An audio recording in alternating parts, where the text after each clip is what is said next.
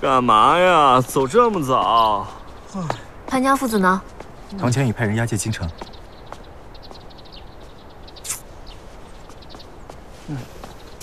殿下。殿下，请。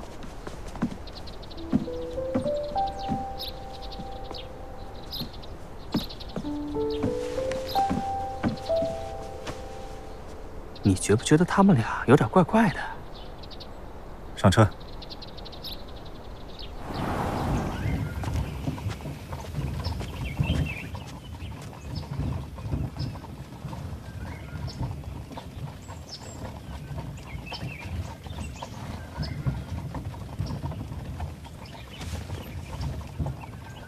哎呀，今儿个天气可真好呀，殿下，你说是吧？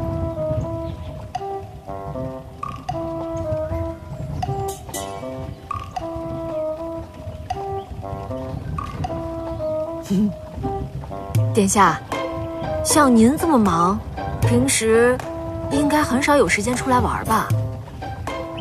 嗯？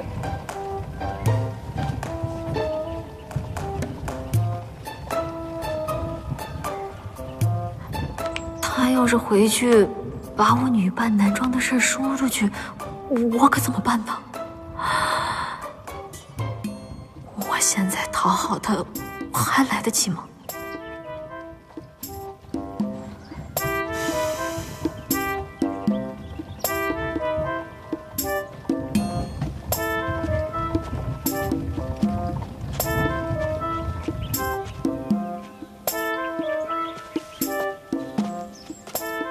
爷到了。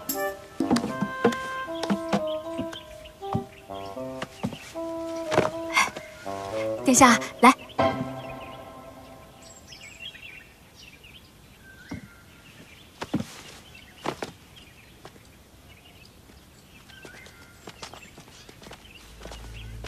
这户人家姓孙，父母双亡，还未成亲。春耕刚过，就去城里做木匠活了，已给足了银子，周边也已查探清楚，并无异常。无妨，只住一晚。已经放出消息，只说爷手里有大量的药材，来这边寻求实力雄厚的买家。于一旦上钩，就以西蜀李家人的身份去探虚实。是爷。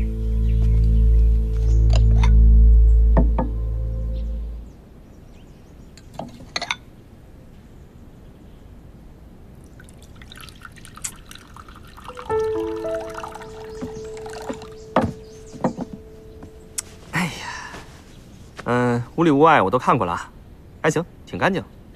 哎，厨房里这个柴米油盐呢也都有。现在就是缺个厨子。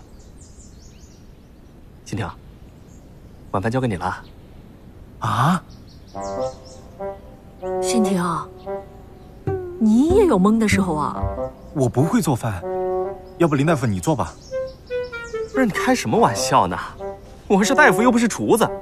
我也不会做饭啊！就知道你们不行，关键时刻还得看本世子的。真的假的呀？那当然，想吃什么随便说。本世子今儿个好好给你们露两手。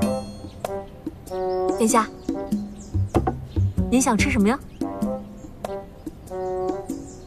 这乡野间也没什么大菜，就随便吃点吧。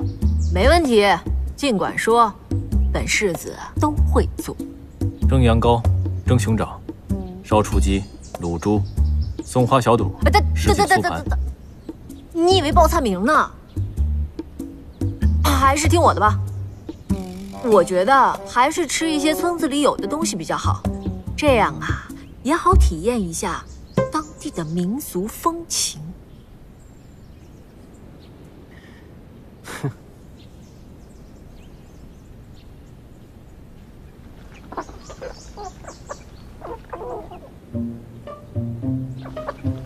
哎呦，哎，乖，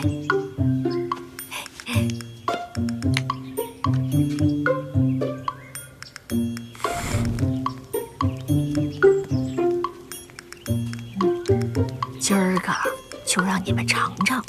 我十一烧鸡的美味。嗯。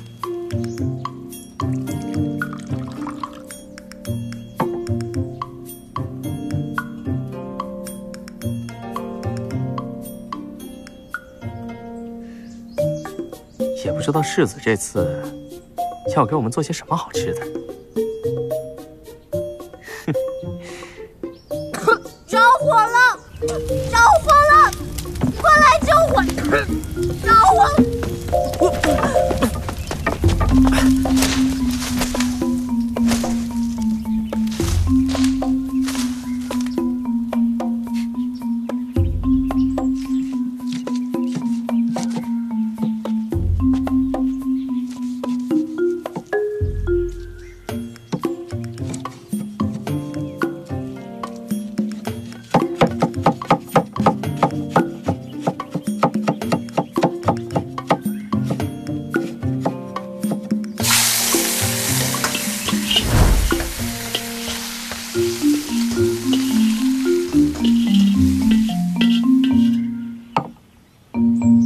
尝尝本王的厨艺。啊！殿下，没想到你还有这一手啊！那我们就动手了。嘿嘿。哎，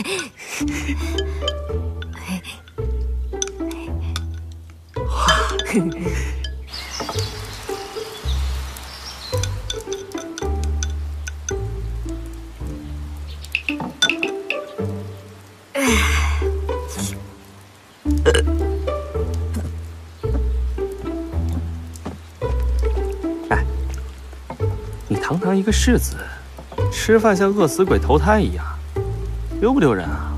可确实是好吃啊。哼不过，吃完这一顿就没有了。下次再想吃，也不知道是什么时候了。看你表现。